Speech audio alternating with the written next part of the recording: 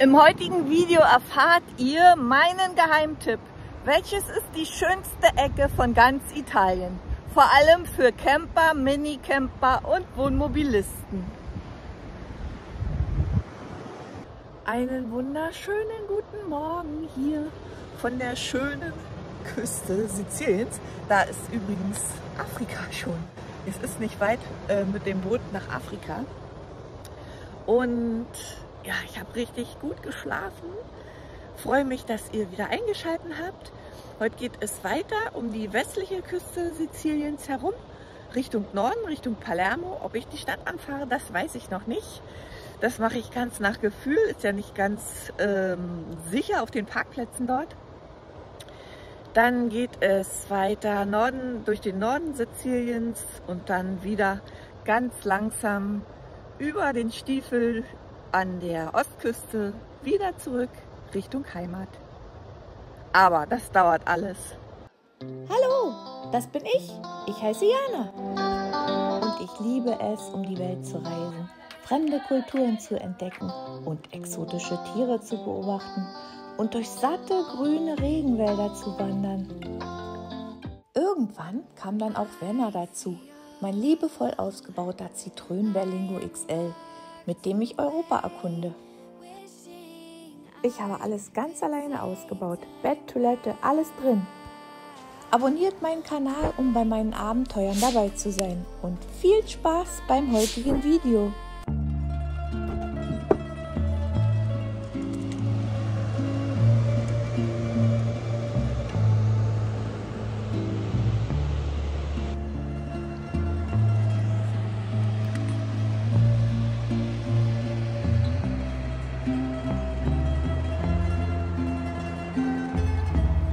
Frühstück.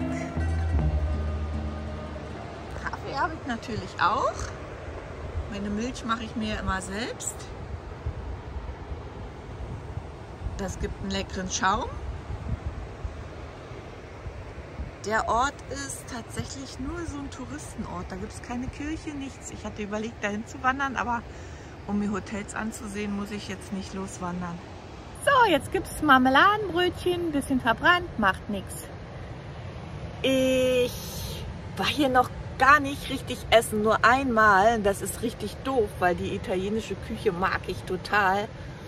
Aber ich habe halt alles noch, das ist alles noch von zu Hause. Ich brauche hier nicht so viel Essen, wie ich geplant hatte. Wahrscheinlich wegen der Hitze. Hilfe! Die sind riesig, da ist noch einer. Äh, Käfer mag ich nicht. Wehe, die krabbeln mich an. Wo ist er? Weg mit dir. Es werden immer mehr. Eins. Zwei, drei.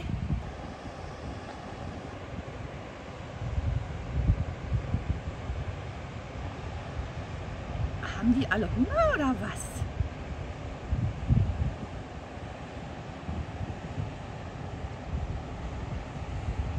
Um mal hier ein bisschen mehr Camper-Realität zu zeigen. Ähm, jeden Morgen nach dem Frühstück wasche ich ab und mache gleich noch das Auto mit sauber.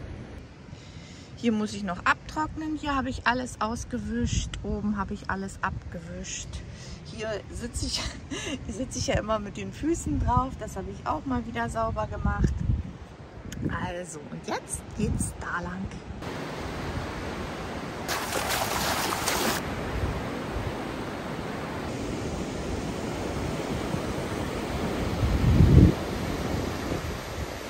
Ich verlasse mein Plätzchen jetzt, denn das Wasser ist alle und es geht durch Obstbauplantagen in den Supermarkt.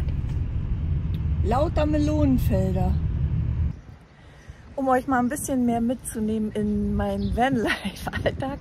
Ich war jetzt einkaufen hier bei, sieht man nicht, Eurospin oder so heißt es. Und habe gleich noch Müll weggebracht und alles wieder frisch eingeräumt.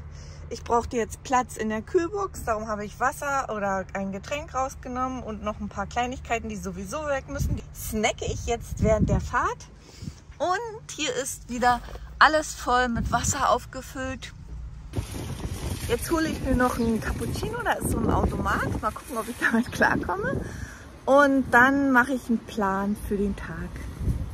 So, sowas nutze ich nämlich auch immer gerne mal. Und was nehmen wir? Latte Macchiato.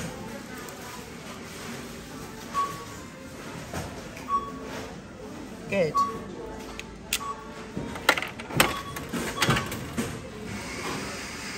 Jetzt entnehmen. Okay.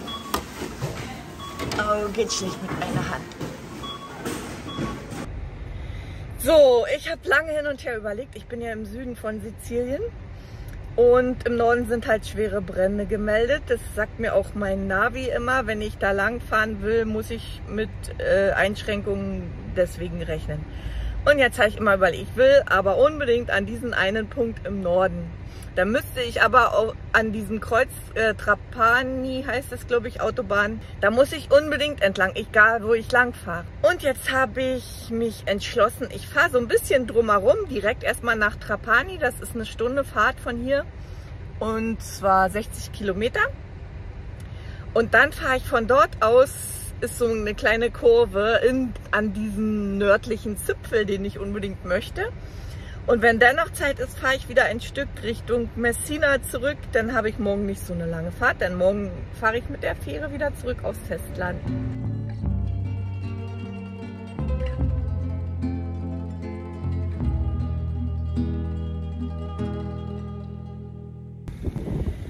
Ich musste jetzt mal kurz anhalten.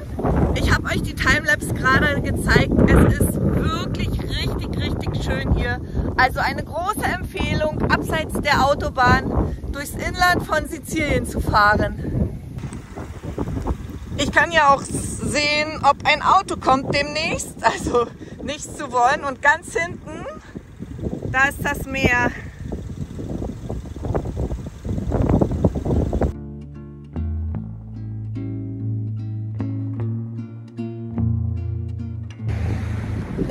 Trapani angekommen und schaut mal, hier ist ein riesiger Parkplatz. Und das Lustige ist, das Parkticket kostet 20 Cent.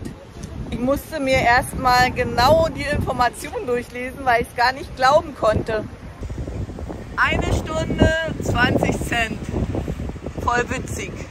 Und da vorne ist gleich das Meer. Schaut mal, wie türkis es da aussieht. Uh.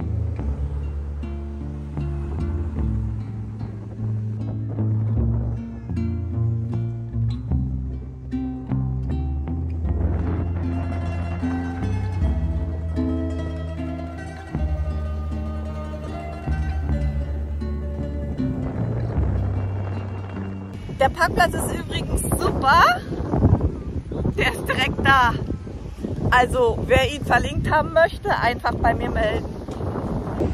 Okay, scheinbar Seaweed Season. Eieiei. Ich möchte eigentlich auch da rein.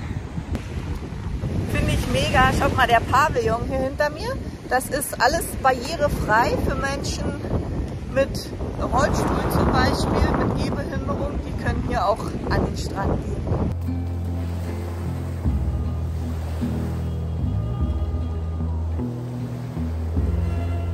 So, jetzt bin ich fresh und jetzt gucke ich mir mal die Stadt an.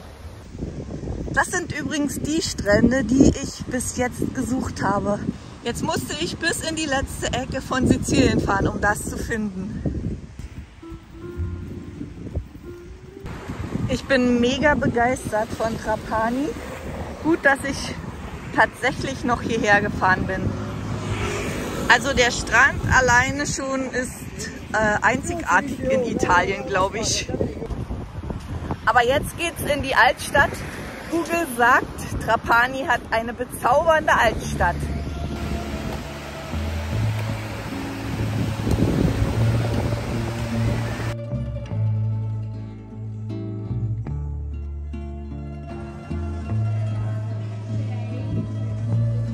Einfach ein so viel entspannteres Italien.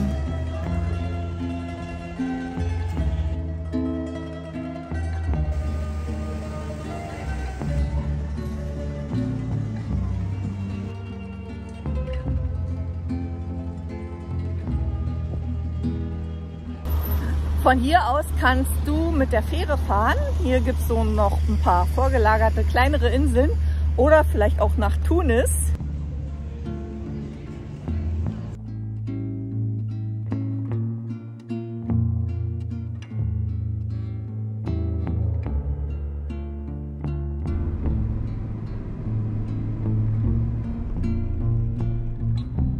Ich muss jetzt einfach mal anhalten. Sieht das nicht genial aus hier?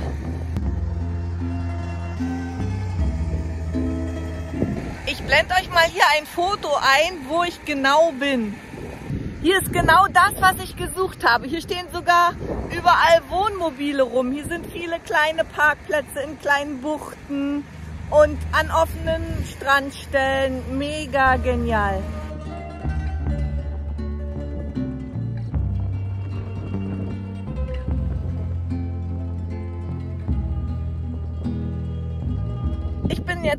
Somit am nordwestlichsten Punkt von Sizilien in San Vito Lo Capo.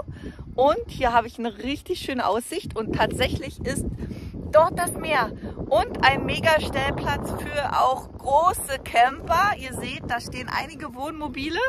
Wer den Platz markiert haben möchte, schickt mir einfach eine Nachricht. Ich schicke ihn euch dann privat. Ich möchte es einfach nicht veröffentlichen. Hier liegt so viel Müll rum und es sollen einfach auch Geheimtipps bleiben, falls es noch welche sind. Vielleicht gut zu wissen, in der Hauptsaison ist dieser Teil des Platzes privat. Nur dieser Teil des Platzes ist kostenlos. Hier ist so ein Zaun dazwischen. Und wie es in der Nebensaison ist, weiß ich leider nicht. Okay, der Strand ist dann doch nicht so meins. Eieiei. Ei, ei.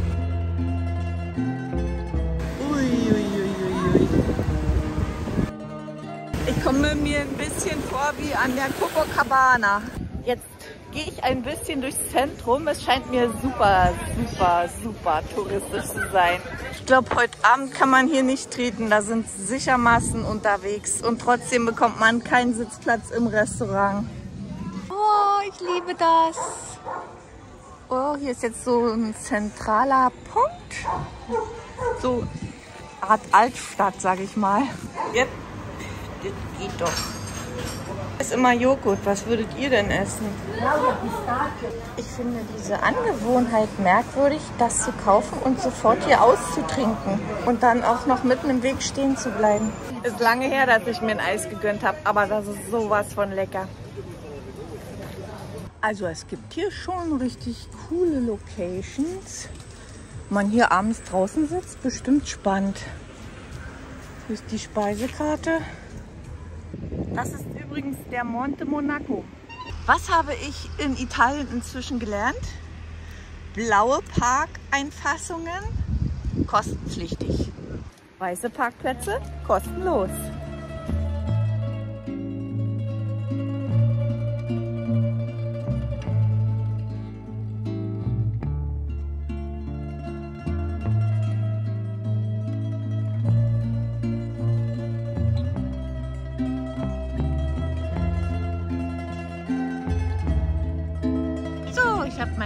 Plätzchen gefunden.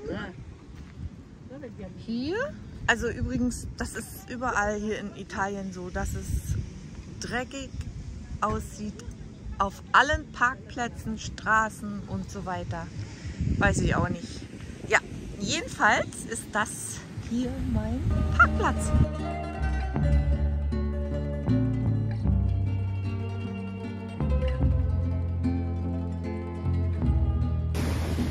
Hat euch das gefallen?